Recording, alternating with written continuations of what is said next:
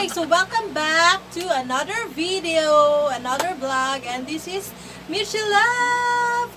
So, karon uh, gitagta ni Ate Tons Puwa na himuon ang tubagon ang mga pangutana sa deep tag question. So, karon magbisaya ta. So, kani nga vlog kay Juan, Bisaya. Basta Bisaya sa lalom na mga pangutana. Bisaya sa deep tag question. Basta mga lalom nga pangutana kay burag mga lalom jud siya nga pangutana. So, ay naatay walo diri ka mga pangutana nga kailangan nato tubagon. Okay, ang unang pangutana. Quiz B. Ang pangutana, ibisaya na ko no, kay Bisaya. Bisaya, vlog man daw kunuhay ni, so ibisaya ta. Ang ang gugma ba? Ah, kay unang pangutana.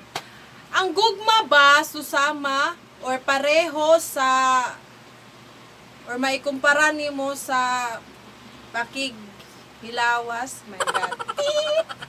Na. Para sa ako dili. Kay ngano kung ing ana lang ay mohang ginaapas nganong di ba nganong naa kay karelasyon or nganong gusto nimo siya dili jud nako na siya i consider i unsa ni? Dili nako siya ay,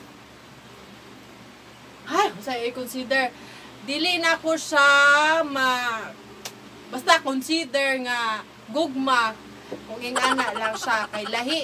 Para sa kuha, ah, lahi ang gugma ug lahi ng ingana nga mga butang kay mga unod nun lang maguna nga butang unyan para sa kuha ha. And then ang love kay kuan na siya dapat walay kondisyon kanang muawas lang sa imong kinatibuk ang kasing-kasing ug pagkatawo. Ingani best ay struggle is real. Bisaya pa more. Number two. Ay dili. Kaduhang pangutana.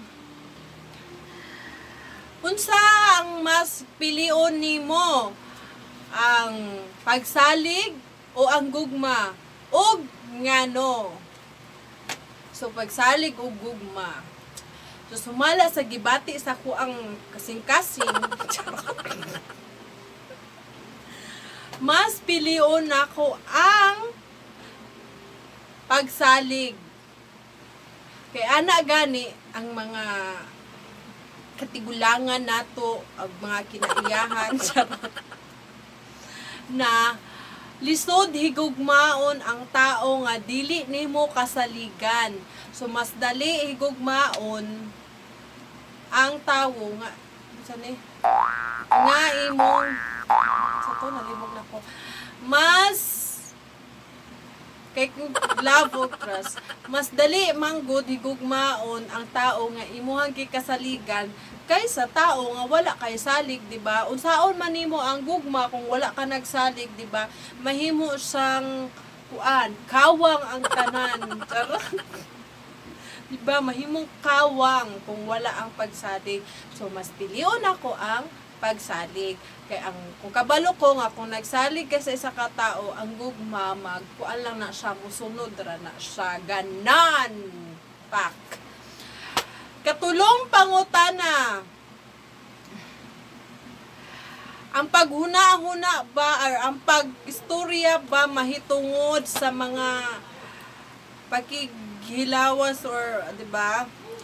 Kanang makahimo sa imuhang nga dili komportable.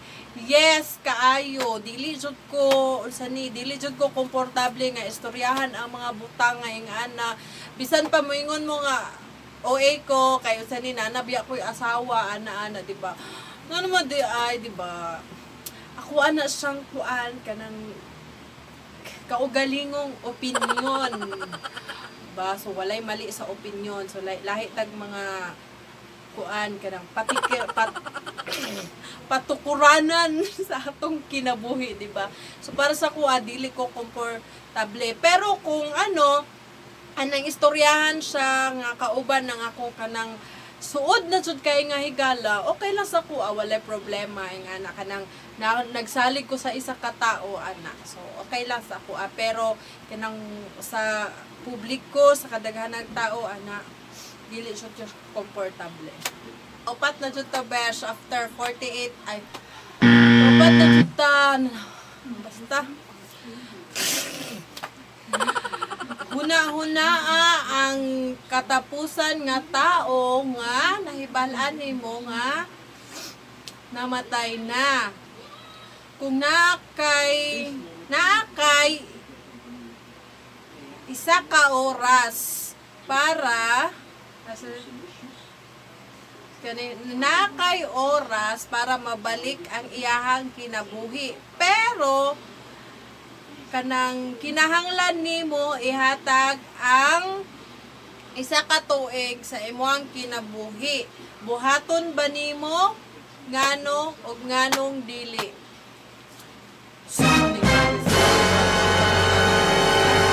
Ay. So wala jud ko'y kuan, laing nahuna-hunaan kun dili ako ang kuan jud mama ug papa. So kung ang pangutana na kaya ba na ako maghatag og isa ka tuig sa kuang kinabuhi para mabuhi sila o bisag pila ra ka oras ang akong tubag kay uo bisan pagkuan katunga sa nabilin nga katuigan sa kuang kinabuhi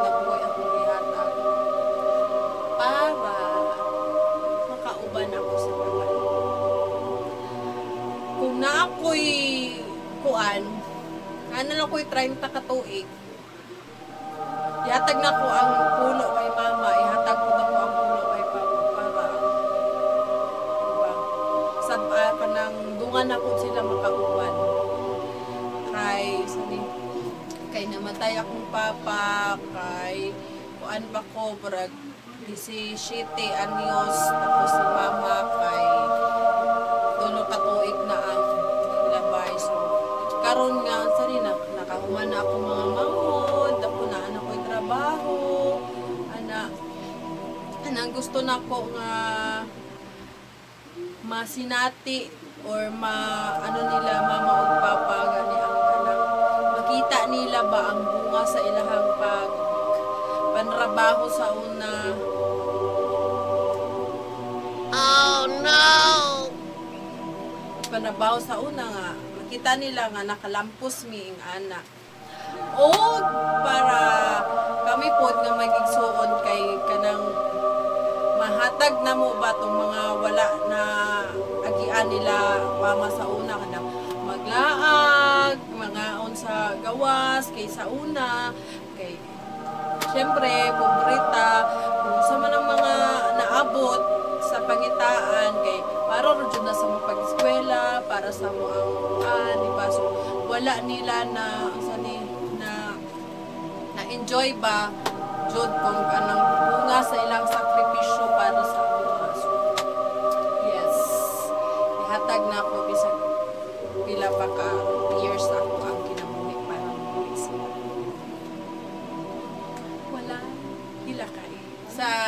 ikalima gani so kung na katigayunan asa na ako ihatag. Kung na kwarta asa nga institusyon. So kung ako ang pangutanon nya unta panalinginan ta sa Ginoo daghang katigayunan og kwarta. So maliban sa kuang pamilya so siguro mohatag ko sa mga kuan kanang institusyon nga nagaamuma sa mga bata o kabataan kay ano sa ni kay di ba ana gani si Jose Rizal nga ang kabataan ang paglaom sa ato ang nasud so wala ko nagingon nga ang mga tigulang kay wala na yung mga kuan mga bili pero siguro ang sa ni kumbaga prioridad nako. Anyway ay chay. Kaya diba ang akong opinion kung asa ko. So mas bugat sa ko ang kasing-kasing nga sa mga bata ko mo hatag kay daghan kay kog bata nga makit-an nga kanang pa lakaw-lakaw lang usa ni pakalat-kalat sa kalye ing ana unya napoy mga bata nga kanang ganahan kay sila mo eskwela pero kanang wala sila kanang syempre wala sila mama wala sila papa wala sila kwarta kanang sagun-saon nila paningkamot gusto sila maka-eskwela pero dili kaya sa financial. So mauna ang ako ang gusto tabangan kay nagatuo ko nga ang edukasyon muna siya ang makahatag isa sa makahatag ug makatabang sa isa ka tao para anang makabaton og hayag nga kaugmaon ana. Number ah, ikaunom ba kay internet best friend?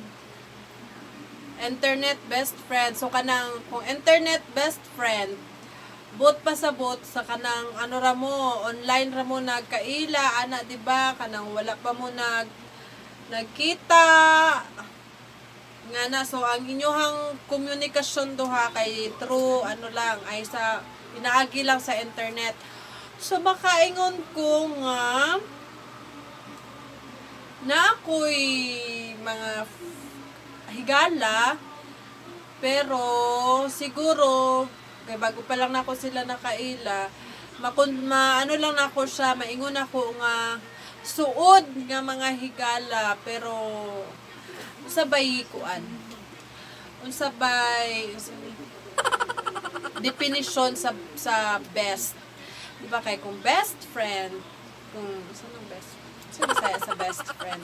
Kay kanang ano di ba sama sa gingon ni Ate Tons kanang permi nimo maka chat adlaw-adlaw di ba tanan ma ma share nimo sa iyaha di ba ana. So siguro kuan pa lang ko kanang kumbaga naa pa lang ko kung naay 5 5 ka ang ang para maabot ang internet best friend naa pa lang ko sa ikatulo nga ang ang ikatulo nga level. So, makonsider na ko na mga suod na ko nga higala sa internet, sa YT, kani sila tanon, wala pa dyan na ko sila nakaila sa personal. So, ang team Burak, si Ate Tons, akong mga ate nga akong mga love loves, si Ate Tons Puwa, si Ate Pangga Precious, Honey, si Lalabs JC Couch, si Ate Maya King Limhar, si Ate Mingming, ah Shirley Pilaes, si Guapa Lalaps Water Rossi, o si Baby RR na sila. Sila sa karon ha karon nga higayon sila ang akong pinakasuod jud sa ano sa online nga kalibutan ana aw ginatinguha jud nako og kanang usa ni kanang gina baga ginahuna-huna sud nako nga unta. Isa ka adlaw magkita ming tanan. Go team burak! Ana. So thank you thank you so much at salamat salamat kaayo team burak. Na. Uh, kapito na jud ta beshi. Kapito unsay mong ginabuhat kung kuan ka nagsubo or masulubon ka? Mata sige luha-luha. Sa ako ang usa ni allergic rhinitis akong allergic whatever. Dito cut na pod siya. So unsa akong ginabuhat kung naguol ko? Number one mukaon kog daghan number two mukaon gihapon ko Pag number 3, mukaon gihapon ko. Bitaw. Kadaghanan sa akong ginaka akong ginahimo jud pag kanang kuan kanang mag nagmasulubon ko mukaon jud ko ang nagdaghan bisag unsa na ako mahuna-hunaan kanang kuan pag stress ko ako huna-hunaan na puro kaon sa bago pa lang ko nagkaon kaon na pud gyapon akong gusto ato bangon ingana tapos ang kaduha pod nya akong ginabuhat kay nagakanta ko besh kanang Siyempre, ambot lang. Di naman siguro ni ma mahawa sa kuang ki kanang kinaiyahan. Personalidad ang pagkapilingira nga kuan singer singer. So singeronon ko no ana. So mo na akong ginabuhat kaon kanta ana ah, YouTube mag magtanaw-tanaw sa mga katawanan mo na siya. Pero pinakadaghan jud ako ginabuhat kaon. Kaon kaon kaon. Kaon is life mong ayaw na mo katingala nga ni dako ko anak kay. Sige na kong kaon. Pero actually bisag di man ko raguol magsigira magapong kong kaon. Pero mas madaghan jud akong kaon pag naguol ko ana siya nagrason ko di ba? Oh. lusot pa more. Number 8 sa ikawalo last na jud na question pangutana So kung hatagan kag higayon na pangutanon ang Ginoo og isa ka pangutana, unsa na nga pangutana? So kung mak- makaatubang nako ang Ginoo siguro sa tinuod lang dati as in daghan kay kog pangutana nganong namatay si papa og sayo nganong namatay si mama nganong ingani nganong ingana ba kay dili malikayan sa isa ka tao di ba nga kanang mga panahon nga naa siya sa kagulanan ug kalisod kasub-anan di ba? Daghan jug mga pangutana nga nagatuyok-tuyok sa ato ang mga ano mga huna-huna. Pero nang isa lang jud ang akong nakatunan sa akong kinabuhi nga wala joy mga butang nga i kuan ba itugot ang Ginoo nga dili makaayo sa atoa. Siguro sa sinugdanan kay kanang sani sakit siya oy sakit kaayo mawad-an og mahal sa kinabuhi ana pero ma maano lang nimo ma-realize nimo later on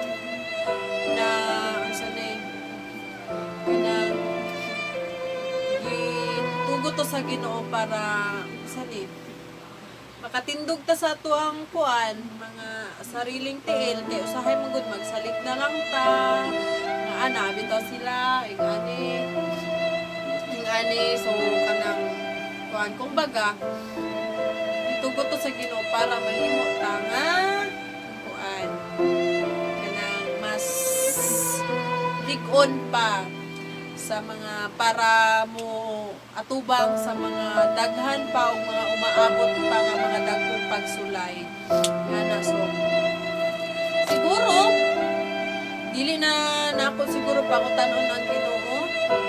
Kay kumbaga siguro wala ako'y katungod na mangutano sa Ginoo di ba? Kay syempre Ginoo siya siya ang nakabalo kung say makaayo o dili makaayo sa ato ah, siguro ako na lang isulti sa Ginoo kay salamat kay luyo sa mga daghang pagsulay nga napot sa akong kinabuhi nga kanang moingon ko nga mo surrender na ko pero naaragi hapon ko nagbarog di ba nagtindog kay so mo na akong gusto pasalamatan sa Ginoo kay wala jud ko niya gi- gibilin wala ko niya gibasagdan wala ko niya gi asa ni gihayaan nga mag-inusara nga atubangon ug sagubangon sagubangon ang tanan ng pagsulay na siya so that's it guys. So maulam to sa kaninga video nga deep tag question slash ah, Bisaya vlog challenge.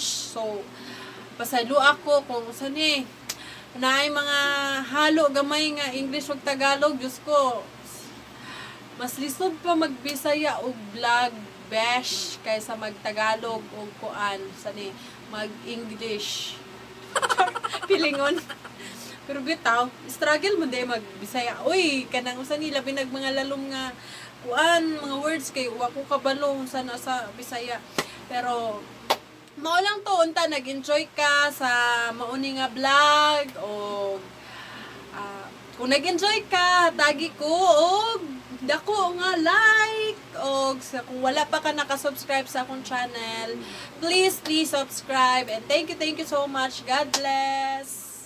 Oh, ginatag day na ko ani ulit. Although gitag na siya ni Ate Tons Puwa, ginatag na ko ulit si Ate Mingming, Shirley Pilaes, og si Ate Pangga Precious. So that's it guys. Thank you. Bye-bye.